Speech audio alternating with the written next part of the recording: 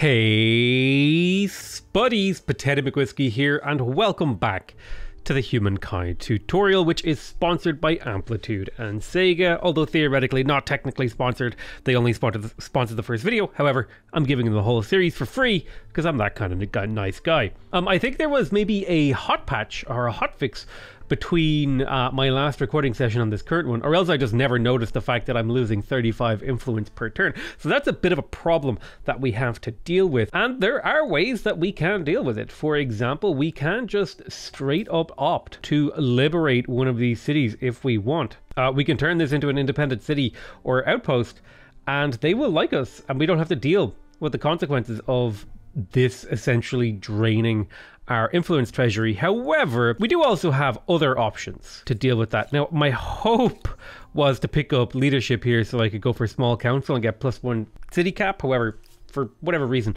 I'm now in the negative of influence here and that's going to be a bit of a problem. So I think I'm going to have to rely on technology to get that city cap, which means I'll need to pick up philosophy here, um, which means I'll have to pick up writing as a priority. Um, but yeah, this is there's so much happening, so much hard to get to.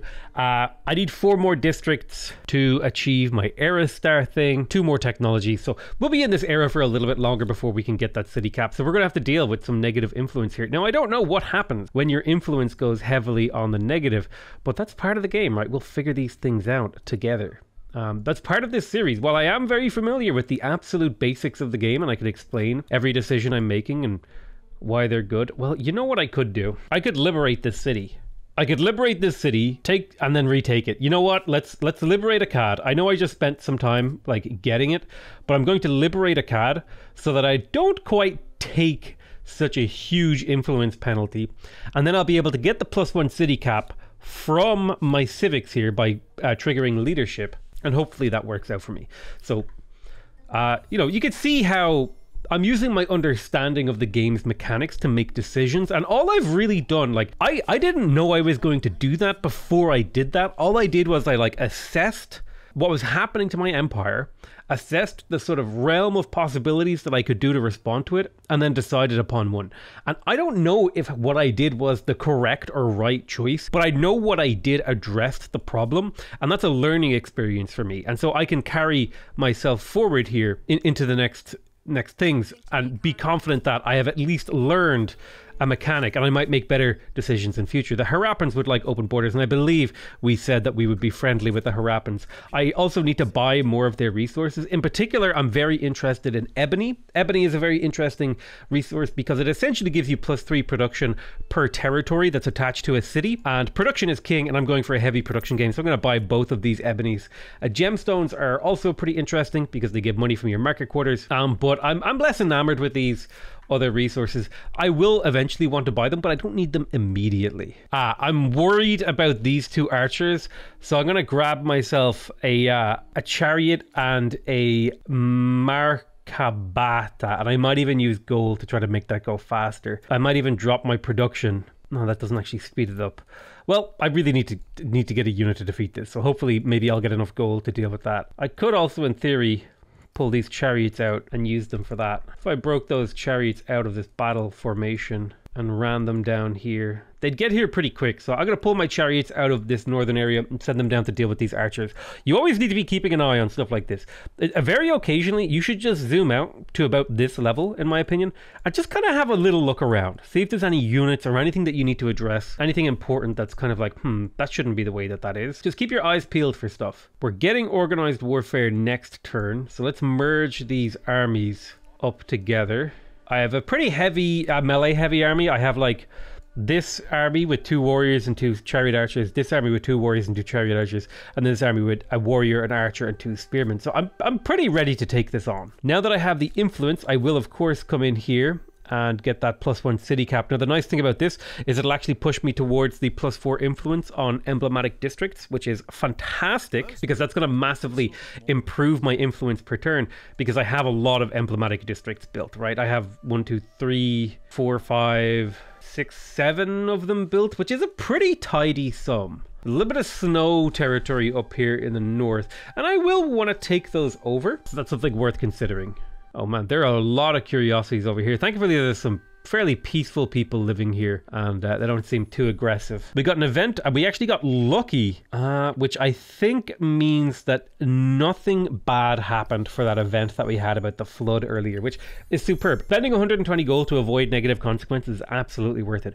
We now just unlocked fishing, which gives us access to the harbor. The harbor is a very unique district in that it exploits all resources. Most districts do not do that. However, it only exploits water tile. It does give you extra money if it has market quarters adjacent to it, and it acts as a naval unit spawn, but you can only build one per territory. We also have access to the fishery, which gives you plus three food on your harbors. Reasonably good infrastructure stuff. Plus three food on your harbour is basically like working three more of these coastal tiles. We also got organised warfare finished, so we can now use reinforcements in our battles. I'll show you guys that in a moment. We have access to the barracks, which makes units cheaper, which does require copper, as you can see there on the bottom, re- re- uh, resource prerequisites that requires copper. That is the symbol of copper. You can see that up here. I'm getting three of them from trade. And then we also have access to the battering ram. And you can see from the sort of um, sketch hash pattern and the shape of the unit that this is a siege weapon. It's a special type of unit that can only be built during long maintained sieges of cities. Uh, and because it's a battering ram, the only thing it can do is attack walls. So it's very vulnerable to melee attacks, but it can punch a hole in a wall and make it easier to attack a city. There is the scientist era star and the, another merchant era star. So our score now is very, very high. The only one I'm missing is building a single district here and maybe getting some kills. And I think I'm going to get those kills right now. And I'm going to have, I, I will have made an insane, insane amount of era stars for this era. Let's begin the battle. I hover over this, you can see this is going to be the battlescape, and I'm okay with that. The enemy is going to have a pair of archers and then get reinforced by a pair of chariots. I'm going to be entering the battle with a bunch of these units plus a bunch of reinforcements. So I'm pretty ready for this. Let's begin the manual battle. You can see two of my, or, or several of my armies sort of were laid out in this way because um, the battlescape expanded as my front line and the number of units I had expanded until I could get my entire army in on this. Let's end our deployment as I'm reasonably happy with how the deployment is set up here. We have an archer here. They do have a little bit of fortification. I'm going to sneak around with this spearman. Let's get all of our units into position roughly where we want them to be for attacking. I'll have one guy flank around to see if there's anything behind the city. And now it's just a, a, a matter of getting units into good positions to shoot and fight. So I think I'm going to focus focus fire on this archer a little bit because he's on the end of the line. If we kill him with a ranged unit, we should be able to step into the city with this spearman and attack this chariot from um, from within the fortifications. You can see here, this uh, this warrior attacking, he's getting plus six from fortification. But if I step inside, he loses that fortification bonus, and these units become evenly matched. That's kind of part of the the the things you have to consider. Is if you can get a unit inside of their walls, now I can attack this unit without suffering the penalties that I normally do from attacking through a wall. Attacking from the high ground into a ranged unit is often a really good idea. And so the, the sort of combat system is, is very robust and, and very, uh, what's the word? Very there's a word I'm looking for. It's like there's there's a lot happening. It's it's very flexible and there's a lot of mechanics happening, a lot of moving parts, and you have to kind of be aware of it. It's not necessarily complexity, but there's sort of a yeah, I guess I guess complexity would be would be the word. Although I will say this: typically, you you can win most battles just by having more units than your enemy, um, which is kind of the case here. You, you know, either bring a bigger stick or bring more sticks. Those, those are your choices usually in this game.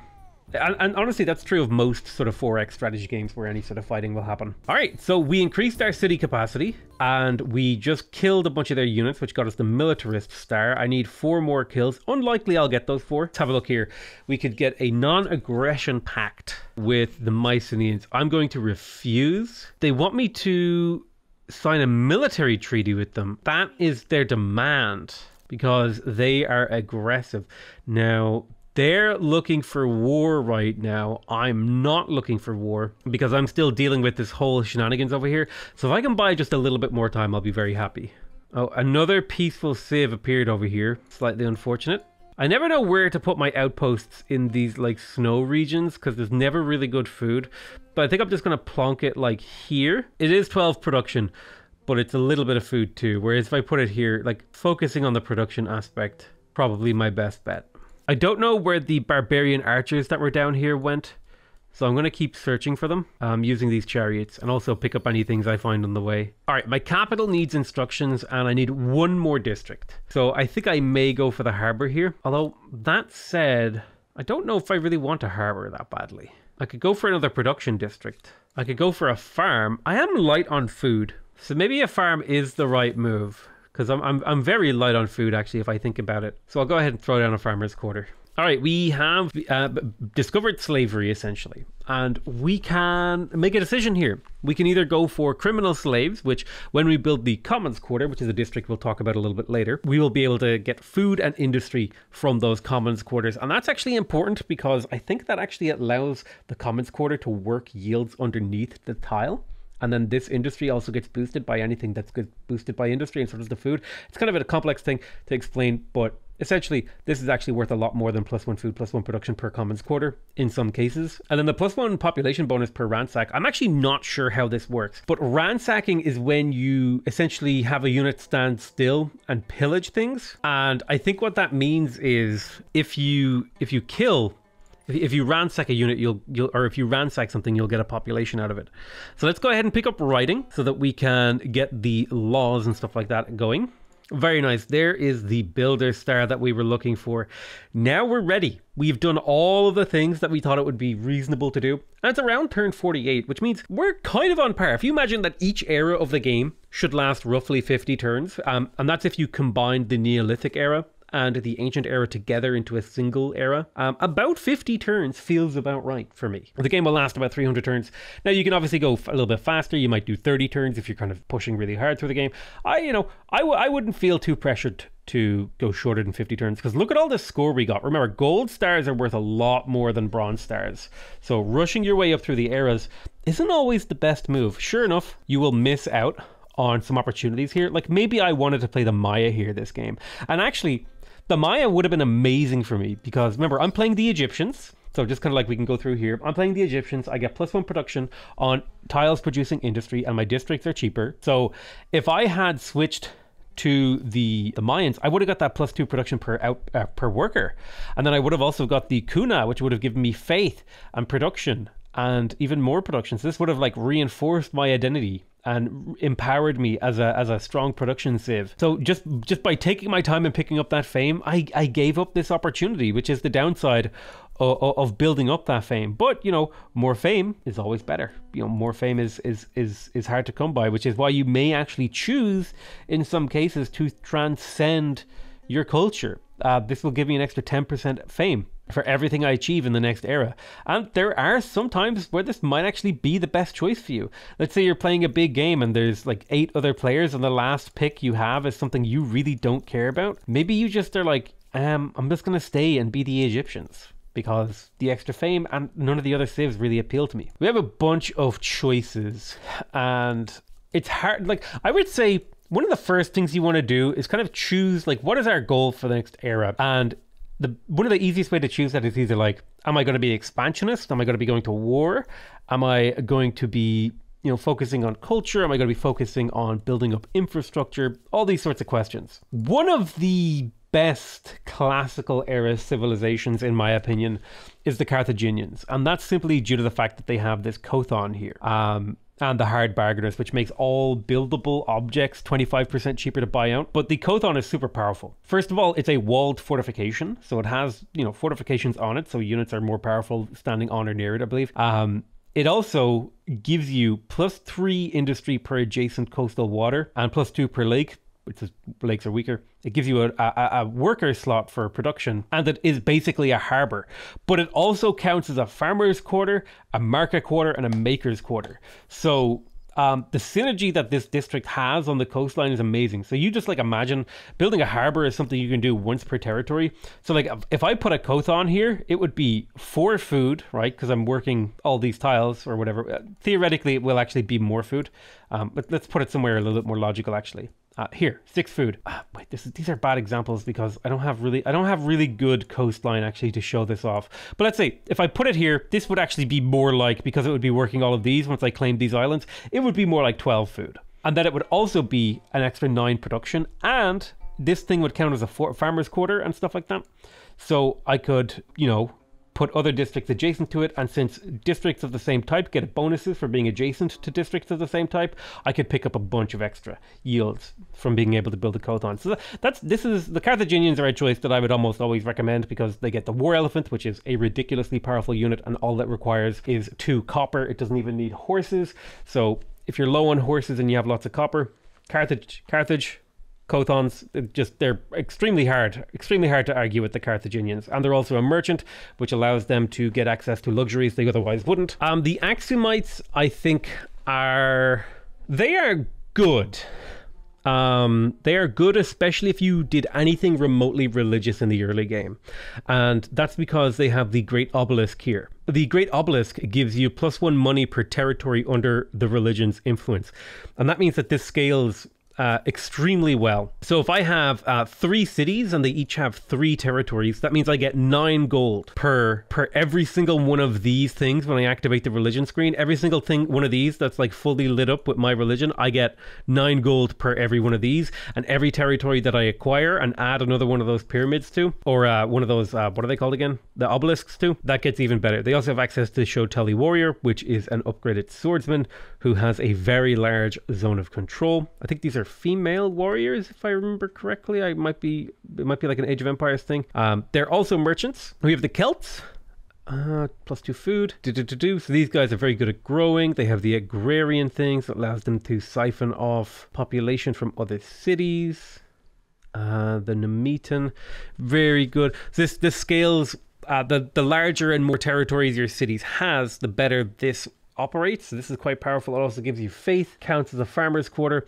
The Gaesatae is quite a powerful unit because it doesn't require any strategic resources and it's 25 combat strength, which is about on par with a classical era unit. Um, and it's available basically straight away. You just have to research standing army and you can pump these guys out and they also don't take combat strength penalties from being damaged. So very, very, very powerful unit for swarming people with. Um, then you got the Goths who get plus 10 combat strength when ransacking on their units. I believe how this works is if you're choosing to pillage an enemy improvement, it actually takes time. It doesn't happen instantaneously. So you might be sitting there for three turns pillaging and getting plus 10 combat strength when you're ransacking is massive. Like game breakingly massive um, to the point where uh, to the point where you may not be able to stop them from pillaging, uh, which is kind of cool. They also get the two influence from their garrisons, which is a type of building they can make. Uh, the fortress building that gives you a little bit of stability, so getting influence from that is cool. They have the tumulus, which is a faith and influence district not the most useful and amazing thing, but could be useful. But more importantly, the Goths are militarists, which allows them to uh, have higher war support and call up free units. And then they have the Gothic cavalry. So, kind of taking rather than go through every single one of these civs, hopefully that has given you an idea.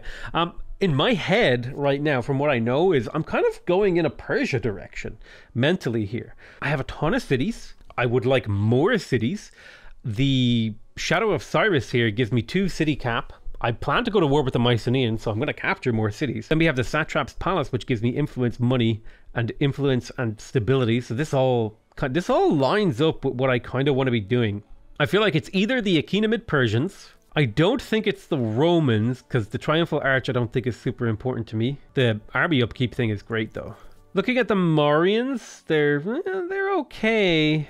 The Huns are insane. I would I really want to do a um I really want to do like a I think it's Akkadians. I can't remember what the what I can't remember what the first era nomadic civ is called, but like those guys into Huns into Mongols because these guys are insane. So these are basically units. They're like gray goo.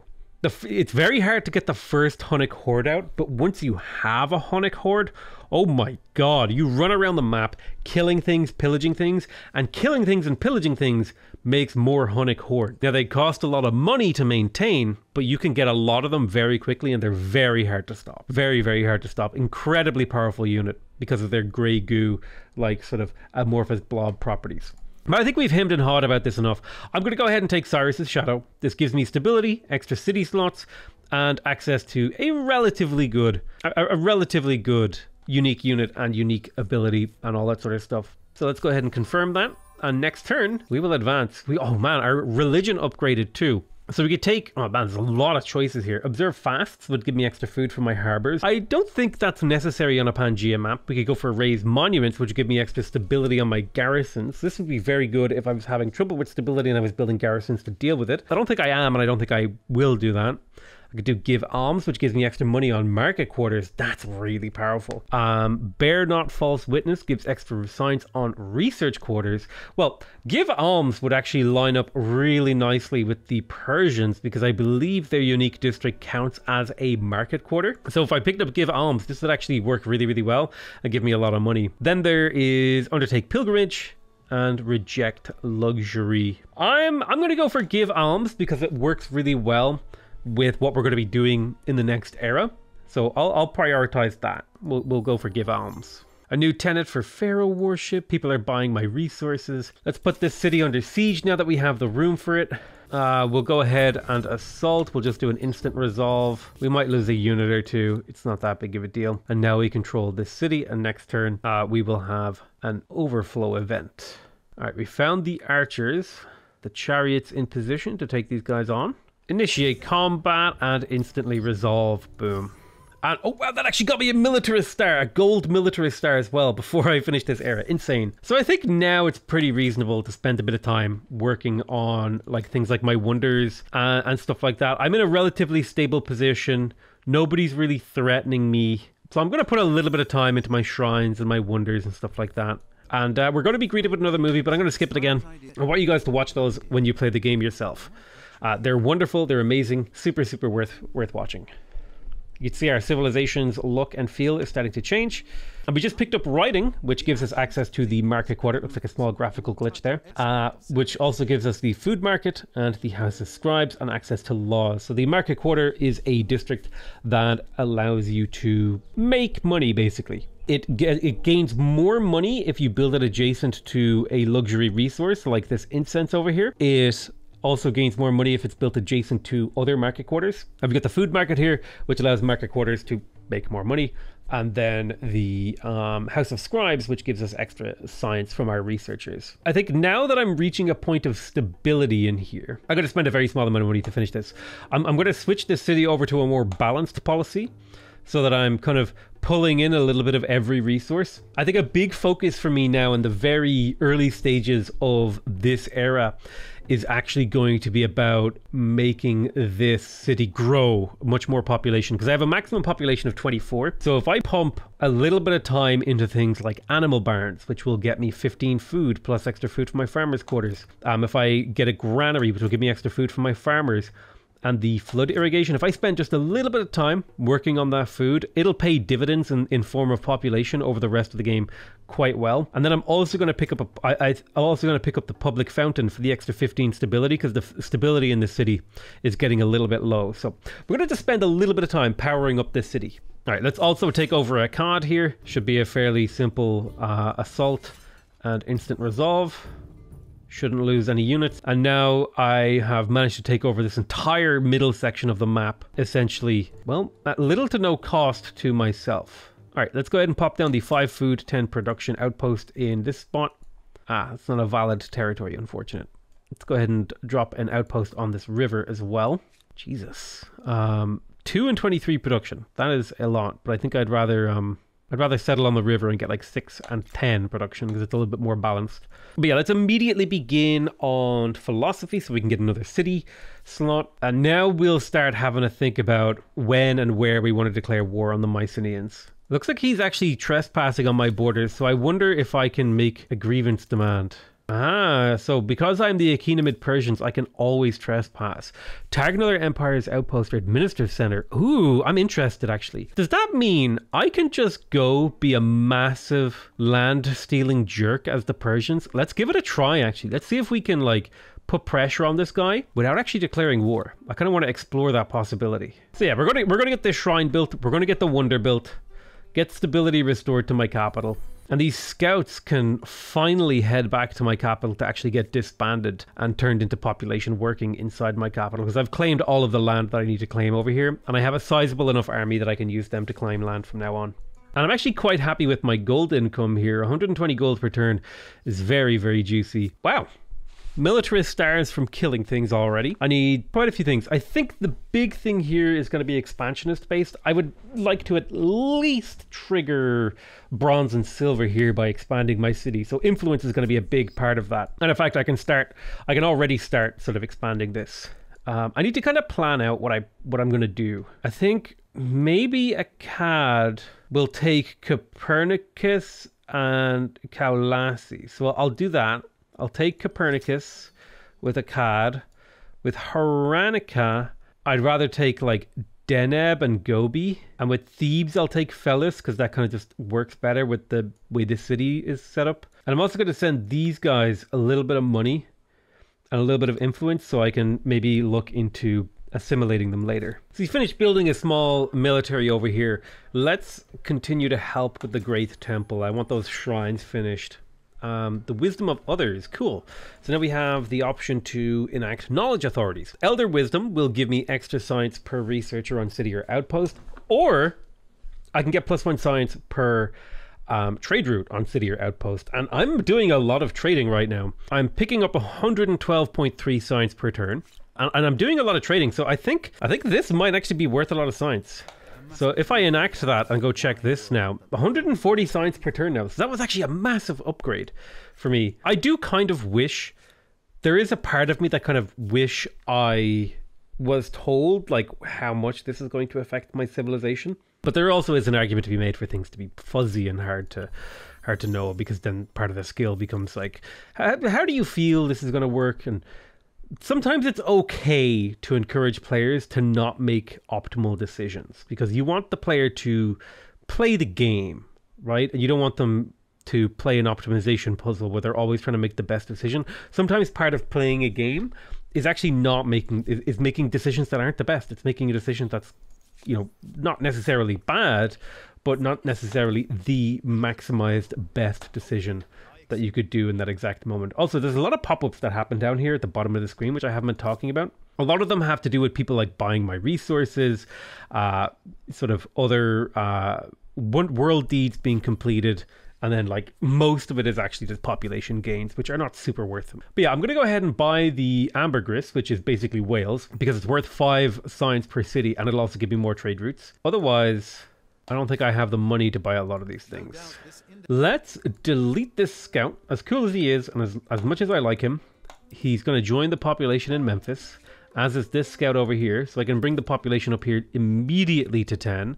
And now we're working a much more balanced taking a much more balanced view of this city. I really like the balanced policy after a certain amount of time. It means that you don't neglect any particular thing. Like if I put the city on city growth, I'm only getting food and production from this city. Sure, that's cool and all, um, also, interestingly, here, I'll pull all my population out of food, and you can see I'm growing 29% per turn. If I add those five farmers back in, I'm actually growing 50% per turn. So a little bit of extra food goes a long way. Um, and then if I take away some of them, I go down to 39%. But I find having like a balanced economy can actually give you a lot of flexibility. I would say more advanced players, as they get better at the game, they're going to want to specialize a little bit more. But just keep in mind that specialization in this game carries with it some very, very big and inherent risks. We just got an agrarian star, which is very exciting. I need another 17 population. We've unlocked philosophy, which gives us access to the research quarter and the school, as well as an extra erudite administrator, which is plus one city cap. The research quarter is interesting because it gives you a ton of research and um, most importantly, the research job. But also, the school is quite valuable because it makes your existing research quarters quite a bit more valuable. I don't typically tend to build research quarters early. They're a pretty hefty investment when there are other ways to get science, but they can be worth it if you picked a civ in like the previous era or this era that builds a quarter that has a scientific tag on it so you can get the extra science out of it. I tend to like to get my science from other avenues. We're doing a little bit of exploring. Very nice. It's tech time. So let's explore some of the classical era technologies that we have available to us. We've got hydrology, which will give us industry and food on rivers, as well as extra stability. Well, I have a lot of river based cities, so that might be useful to grab. Levy administration would give me extra money on my main plazas, but I believe that also lead to a better levy administration later on here somewhere. Don't remember where it is. It would be nice to unlock the commons quarter because that opens up options for increasing my stability by using my infrastructure. Um, customs farm seems quite good too. Also, maybe my unique unit is a good idea to unlock iron and get my unique unit. So maybe we'll uh, progress towards standing army as a priority. Are you sus? I'm expecting Morbus to like insert the Among Us boom like noise as the meeting is called or whatever. Ooh, some deer. Let's kill the deer. Uh, this is a deer free land. Thank you. No deer allowed. So it looks like we actually finished the shrine that we were building over here. I think this was it. Yeah, that was it. And now I'm going to start putting production into the Temple of Artemis because I want to get that finished too. We could choose between a solar calendar and a lunar calendar. So this doesn't actually really have consequences outside of RP and your ideology. So if I moved more towards a um, progress lens, oops, misclicked. If I move to more towards a progress lens, uh, that'll kind of cement the progress ideology in my civilization. And if I move more towards a lunar uh, end of things, that kind of goes more traditional. It would slightly lower my science, slightly increase my stability. I'm going to go with solar just to keep my um, my thing's nice and tight with the uh, scientific end of the spectrum. So we've unlocked Iron and the City Watch and the Immortal, which is our unique unit, and we absolutely want to be getting the Immortal. And the cool thing about the Immortal is that it is a a classical era unique unit only requires copper, right? Um, normally, if you want a unit remotely as strong as uh, as this, you need iron, but that's the power of the immortal. So I think if I go through to a lot of my units here, you can see here my warriors are now upgradable. Um, two swordsmen. Oh wow! Wait a minute. Which one is is it? Spearmen that upgrade? Ah, it's spearmen that upgrade to the immortal. Sorry. So yeah, now I can upgrade two of my spearmen to immortals, and these guys just became like ridiculously powerful. Thirty combat strength, twenty health regeneration, blah blah blah blah blah. Extra combat strength when they're fighting from high positions. These immortals are insane. Just by the way, um, in case no one told you, immortals are insane. I can one turn a lot of these technologies, which I may do in order to pick up some scientist stars here. So I'll just start like popping out these like really cheap techs and just get them done. My science right now is, is, is very, very strong. So it cost me 500 gold to annex this. And I'm going to make the attempt. I'm going to make the attempt to annex this with my units. So I'll grab these guys. I'll tell them to come here. I will... So like, target another empire's outpost or administrative strender uh, it'll take the army a few turns, kind of trigger, I need to wait a few turns after successful. So I can basically steal land. After six turns, this land will be mine. Our religion has advanced again. We just have such a strong faith gain with the polytheism here that our religion is essentially unstoppable and it's completely engulfing the world, especially because this is a small world. And again, remember, I recommend you play on a small world when you're a new player because it means less complexity. It means um, you, once you overcome the enemies, you have all the time in the world to explore all the late game and mid game mechanics to your own, you know, to your own ends. Uh, so we could develop our intellect, which would give us science for alliances. We could get extra movement on our units. We could get extra production from our cities. We could get extra war support extra money per number of trade routes. That seems very good. Or we could be charitable. I like mandate patronage here is kind of cool. My religion is giving me lots of gold and science, so I feel like it might be good to get something else. Um, this does nothing for me this does nothing for me. So it's really between production and gold, and this gold seems really, really good. Uh, so I'm going to grab the gold instead. It should actually give us a decent amount of gold, especially because I could, in theory, come in here and uh, go ahead and buy more stuff off people. In particular, the Harappans have more stuff to sell me, I think. What do you mean I can't afford it? All right, I guess I need to save more money. Stability in my capital has hit a new high. Um, we're consuming a lot of food in here and I would like to address that. Question is, do I want this to be a food or do I want this to be a production river? Well, that's a hard call to make. Let's come over to Harakana because I want to attach a new territory to it because that should, in theory, have triggered a territory star. Oh, not quite. I need another one. Well, let's come over to Hagmatana and yoink. Uh, actually, with Thebes, I will yoink Homam. Boom. There's the expansionist star I was looking for. Two more gets me silver. Um, it's going to be a priority. Is linking up all our territory. But now my empires start to fill out. In my capital, it is hard to know what to do here. Like I was saying, I need more food. I think, you know what, I can one turn a lot of this infrastructure here.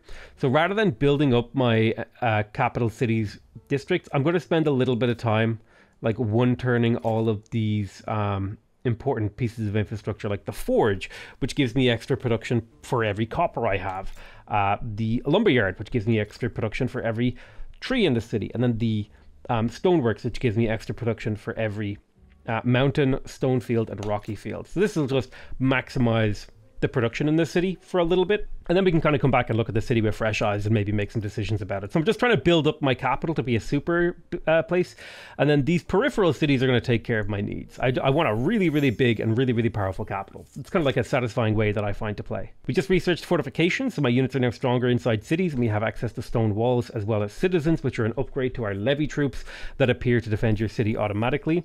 And we picked up a scientist star, which is awesome. We also finished the Temple of Artemis, which, if you don't remember, gave us extra regeneration on our units as well as a bunch of stability, faith, and all that kind of jazz. I don't know if I've actually seen any iron. Ah, there's iron here in Kalausi. I'm going to prioritize and get that iron online. With that iron improved, we should be able to come out and actually upgrade these guys over here to swordsmen. That will eat into my coffers a little bit because I'm now paying for these more expensive units. But it also makes my army much more scary, which means the AI is less likely to mess with me and more likely to acquiesce to my demands. Talking about developing my cities, I've got all my sort of important main things built, like my shrines, my wonders. Um, and now it's really just down to like, how do I want to develop Thebes? I think we're going to go ahead and switch over to a balanced policy here as well, so that we get a nice mixture of every resource and then start building up this city. It would be really, really cool if I could throw down some satraps palaces especially near these luxury resources. Those are worth 13 gold per. Um, but it might actually be worth it for me to do the same thing I did in my capital and just build up a little bit of a food income so this city can grow population a little bit faster and fill out these jobs. Or maybe actually it might even be worth it for me to prioritize the forge in a lot of my cities. This is like 30 production at least across my empire. So 30 production for three turns of, of construction is absolutely worth it. So I'm going to go for the forge pretty much everywhere it makes sense and uh, because of the value I get from it, it makes sense everywhere. But I will pick up the pottery workshop first because influence is king, or maybe maybe kings have influence. We can also grab ourselves a new wonder if we want, but I think my priority is to link up my territory. Just out of curiosity, which wonders are available here? So it looks like the mausoleum at Halicarnassus has already been taken, which gives you a 1% science boost per district on city or an outpost. So that's pretty powerful if you're going to build a tall empire. That's very, very good. And I believe... No, it doesn't count as a holy site. We also have the statue of Zeus, which is a stability and gold improvement that also acts as a holy site, so it's worth a lot of faith. It will give you extra gold per alliance on your empire, as well as stability per city. Very, very powerful. The Lighthouse of Alexandria will give you stability, extra vision range, and I believe it'll also give your naval units a little bit of an edge. That's quite powerful. The Colossus of Rhodes makes it impossible to siege down your cities. Normally, when you're sieging a city, you will slowly lose defending units um, like your militia. But with the Colossus of Rhodes, those guys will not die. I kind of like the idea of either. I, th- I think I like the idea of Statue of Zeus here. So I could claim it. I'm not going to because again, my priority is actually expanding my current existing cities. I think Memphis is going to eat these two territories eventually. But for now, Haranica is going to eat Gobi, maybe. Or actually, no, it's going to eat Zeus, and then my capital is going to eat Gobi. So Akkad instead, you're going to eat Kalausi, Boosh, is another territory for you. And then Hagmatana, you might eat this territory over here that I'm I'm kind of claiming. I'll have Akkad be a nice big fat city in the center of my empire. I don't know. We're kind of exploring ideas. We're we're we're not. I'm not sure how I'm going to develop, but I'm I'm making decisions. Ah, we're under attack. Did they declare war on me? Interesting. So they have declared war on me. I could retreat here. They have reinforcements. They have spearmen and the Prometoi which have a big combat bonus on the first turn. I have relatively weak units, so I'm actually going to retreat here, and this will give me a turn to get some reinforcements into that battle. Now, this is objectively a worse position for me, especially if he attacks from this high ground, but I do have relatively okay terrain around to protect myself, and I might be able to scooch these guys. Ah, nice. So he actually started the battle here, um, where I have actually a pretty big advantage. He's only bringing a single swordsman to the fight, so I'll just fight this real quick. Ah, I didn't expect him to do... I didn't expect the battle AI to screw me like this because I just quickly tried to resolve it, but um, we'll do this quickly. Rear attack plus charge. Rear attack plus charge. Should be easy kills.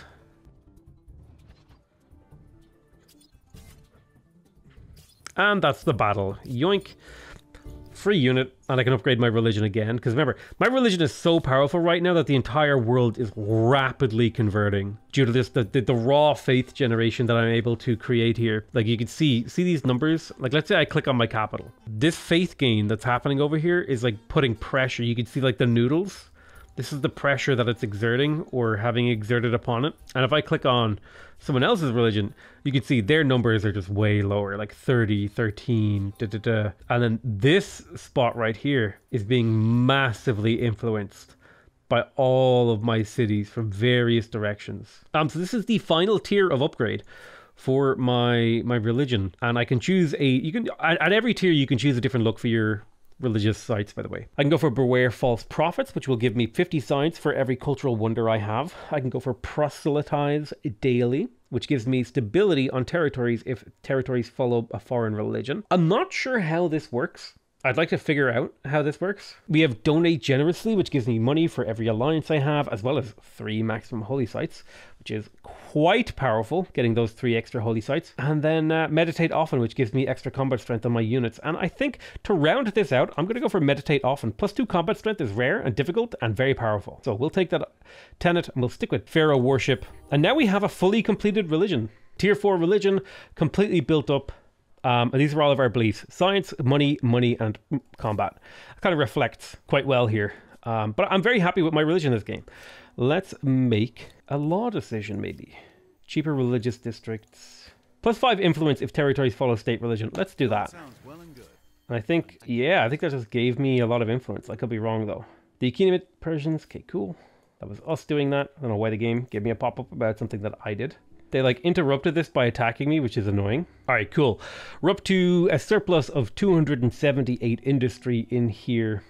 I reckon more food would be good. We have plenty of stability to spend because we built things like wonders and great temples, which give you stability. My satrap's palace is also a really cool build, but I think the food thing is uh, is big here. It's the it's the thing I have the least surplus of, and the more surplus you have of food, the faster your population grows. And I don't really have much in the way of, of these to build, like my infrastructures. We've unlocked sailing, which gives us access to the fishmonger, which gives us money on our harbours, as well as the pentaconter, which is a coastal ship that can explore a little bit of the water. We also got hydrology, which gives us food on rivers, which is an upgrade of that building, and the watermill, which also gives us industry on rivers, and then the aqueduct, which gives us more stability. So lots of really, really cool infrastructure we've unlocked this turn. It might not be a bad idea to go for the charcoal kiln. Artisan workshop also seems quite good.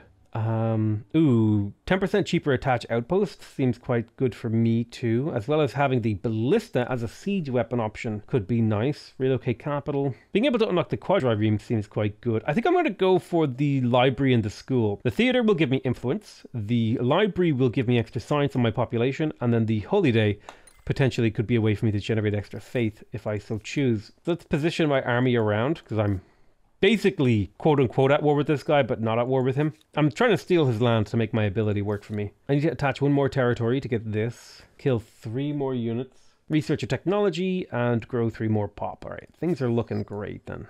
Ooh, religious minorities. So plus 10 money on territories if territories follow a foreign religion. This is like the jizya tax. I think it gives you money if an enemy religion has taken over your civilization, or untaxed minority, which gives you stability. Interesting. Not sure I care or want those things to happen for me. Nice, we built the forge. I do wish that it would show you specifically. Here it is, yeah. 30 industry is coming from the forge. So the forge is super powerful here. Very powerful, very useful, very happy with it. Um, this city doesn't have a massive stability problem right now, but I will go ahead and get the public fountain to increase the stability. I like a very highly stable Empire. I used to play very, very low on stability, but now I like playing high stability. This is like a style thing. You'll figure it out as you test mechanics and you try out things. I just, I don't know, I enjoy the game more when I have high stability. Nice, we got a builder star. Need another 10 districts to get the next one. I wish there was a way to like right click and tell the game or middle click or something and tell the game I don't want to build a farmer's quarter here and then get another suggestion from it. Because as it stands, I kind of have to like go through and be like, okay, where do I want to build this? Which isn't like the end of the world. It's just like slightly annoying. Another agrarian star for me. Three turns until I steal this piece of territory using the expansionist ability. I'm curious to see how it works. I've never done it before. Uh, these guys need to be upgraded, actually. Uh, can I sneak them out to my territory? Maybe. Maybe I can sneak him out.